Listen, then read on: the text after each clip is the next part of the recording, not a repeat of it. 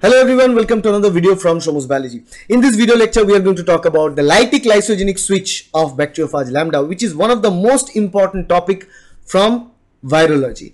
And you need to understand lytic lysogenic switch for Bacteriophage lambda. You can also call it as lysogenic lytic switch. Doesn't matter. In in reality, we can you must call it as a lysogenic lytic switch because lysogeny is a phase where the bacteriophage incorporates its viral DNA inside the host bacterial DNA and it remain as a prophage for generation after generation and the bacteria can divide so as the viral uh, viral DNA should replicate naturally. But after when the environment is favorable for the virus particle to come out, then the lysogeny should shift itself to the lytic phase and again virus particles must begin and the process should continue. In this case, we are going to see how exactly lytic, lytic lysogenic switch is done. Now, switching is something from lysogeny to lytic, means the phage DNA is again being uh, removed from the bacterial DNA and then start replication and start packaging. But we are going to talk about the molecular mechanism behind the process of lytic, lytic lysogenic switch. Sorry.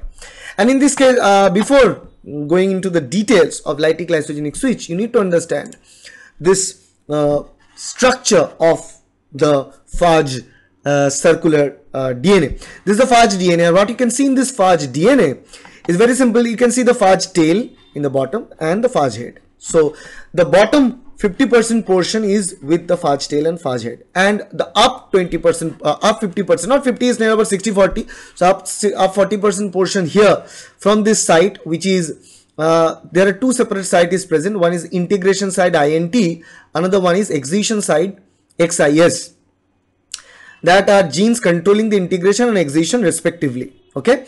And this is attp which is the point where chromosome separates and integrates to the host. So attp is the at, it's attachment site. This is where the viral dna gets cleaved and get incorporated with the bacterial dna and once lytic cycle switch is done lysic, lysogenic lytic switch is done then again this is the site from where the phage uh, dna gets separated from the bacterial dna now here you can see in the top side we have complete list of the main operon involved in the process of lysis or lysogenic cycle. So lytic or lysogenic cycle you can clearly see there are multiple proteins involved. So we'll zoom into here and we are going to see uh, how exactly all these different structures look like. So this is the close-up view of this uh, all the important gene and their protein factors involved in the lytic lysogenic switch. And I'm going to describe them one at a time. Remember one thing at the center we have C1 and at the terminal side in the right hand side we have C2 in the left hand side we have C3 so what are these? These are uh, the very important words. C1 involves in the process of maintaining lysogeny. So C1 protein represses the excision and lysis of the host. So basically C1 influence lysogeny. If C1 is present if C1 protein is being made then that indicates the lysogeny will be incorporated okay? And c1 inhibits the lytic phase. It initiates the lysogeny cycle. So c1 is very important for lysogeny only.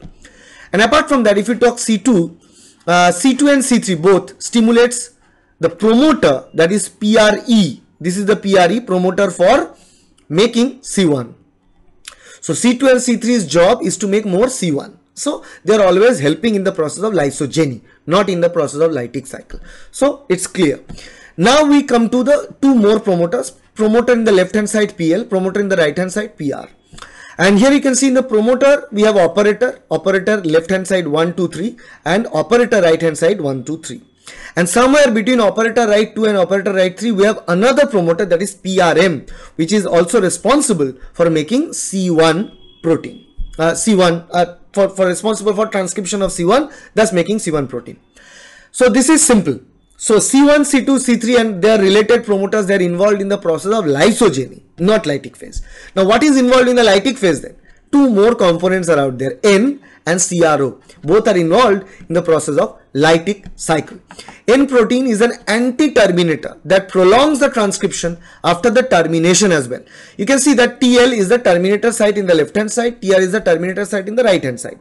So normally the process should start in, from the promoter, the transcription process should start from the promoter left let's say and it will continue to make N, it should end in termination site that is TL. But if N protein is present in more concentration, then the transcription should continue beyond terminator and it will continue to make C3. In this side also, it should stop at the terminator right side or TR side. But if N protein is present in high concentration, then the transcription will not stop in the terminator. It will move to make more C2. Okay. So this is the idea of N protein. It's an anti-terminator. So if N is present in high concentration, no matter whether the terminator is reached, the process will continue. The transcription will continue to make C3 and C2 from left side and right side respectively. Now, apart from that, we have CRO, CRO protein, represses the action of C1, thus stimulating lysis. So, CRO protein's job is to stimulate lytic cycle, to stimulate the lysis of the cell and CRO protein will inhibit the job of C1. C1 will inhibit the job of CRO. Basically, CRO and C1 are regulatory proteins and they can bind to operator OL1, OL2, OL3, OR1, OR2, OR3. But between C1 and CRO, C1 has more affinity towards the operators. So if C1 and CRO both are present in equal concentration, C1 will always bind to the operator site. It will not allow the CRO to bind because C1 can bind with more affinity. But if CRO protein is present in high concentration than C1, then obviously CRO will bind to the operator sites. That's the simple idea. This is what you need to understand at the very beginning that C1 for lysogeny, CRO for lytic. And N protein is anti-terminator that is required for lytic movement or lytic cycle movement. Okay? This is what you need to understand right now. I also need to know that PRE and PRM are promoters from where C1 protein can be made. Okay? So now let's move on to the next part. And that is the part of animated lecture regarding lytic cycle and lysogenic cycle. So what happens in lysis and lysogeny? Let's see that so this is the very first situation where the right and left hand operators are being transcribed and being translated.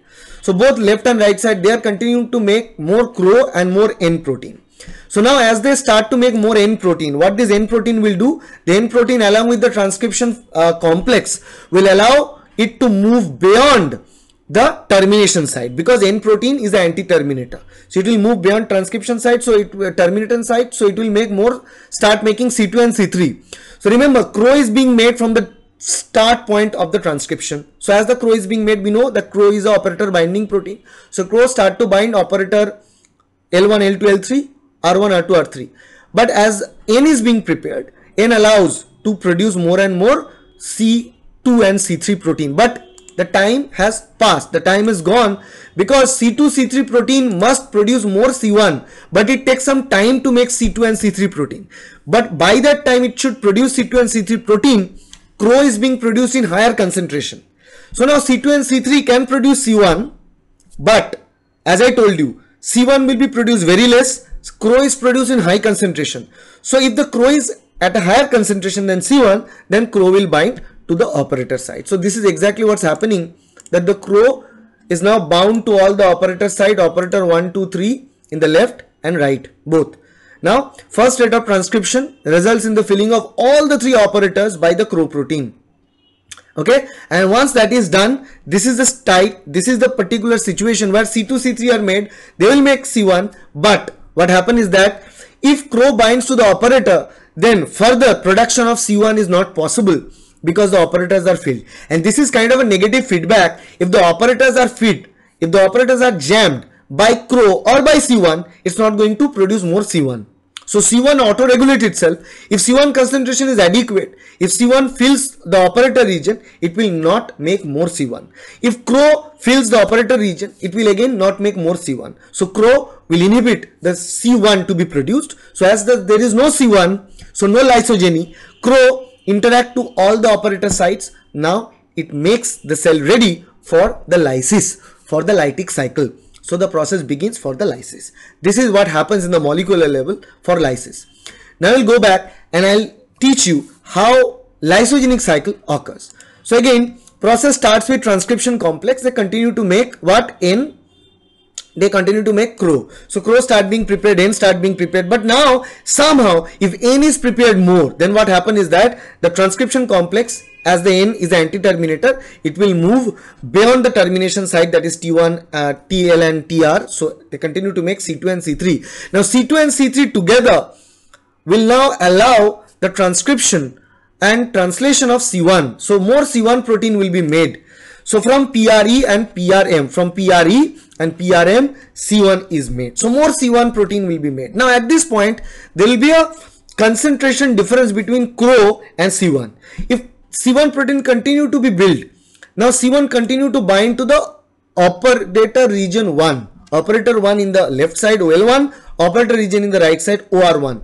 So it continues to bind and then what happens transcription complex should come and transcription complex will continue to make more C1 and as they make more and more C1 this C1 concentration is getting increased than CRO and I told you that even if the concentration is equal between CRO and C1 C1 has higher affinity towards the operator. So C1 will remove the CRO and bind itself. Okay? So C1 continues to bind itself. CRO will be replaced by C1 and as the C1 binds itself, finally the C1 concentration is high and C1 will also bind to the third operator that is OL3 and OR3. As C1 is now completely filling all the operator, it indicates to prevent the further production of C1. So in this case C1 auto-regulate its production as I mentioned you earlier. So now C1 is completely filling all the operator in the left hand side and the right hand side. So due to this filling now it's done and afterwards what happens is that it causes the lysogeny. So that is indication of lysogeny. Okay, that's how the lysogenic cycle is done. That's how uh, basically uh, the C1 will fill the operator regions and it indicates the phage DNA to be integrated to the bacterial DNA and this process continues. Okay, so lysogeny will be achieved. So that's all about the lytic cycle of lambda phage. If you like this video, please hit the like button, share this video with your friends and subscribe to this channel to get more videos like that in future. Thank you. Bye.